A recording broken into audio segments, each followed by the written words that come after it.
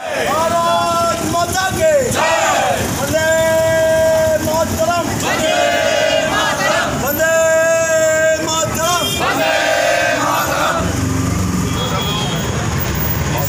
বাস চালক ট্রেকার চালক সকলে মিলে আমাদের কাছে আসছে দৈনন্দিন গাড়ি চালাতে গেলে তাদের একটা মিনিমাম টাকা তৃণমূলকে দিতে হয় সেই টাকা আমরা আমাদের কাছে বলেছে, সেই টাকা বিভিন্ন মারফত হয়ে মন্ত্রীমশাইয়ের কাছে পৌঁছায়। তো আমরা আজকে মন্ত্রীমশাইয়ের বাড়ির সামনে এসে এখানে অবস্থান করছি যে এইসব টোটো চালক, অটো চালক থেকে, বাস চালক থেকে যারা আছে ঠিকাদার থেকে শুরু করে যারা আছে, তাদের সকলের টাকা ফেরত দিতে হবে। ঠিক আছে?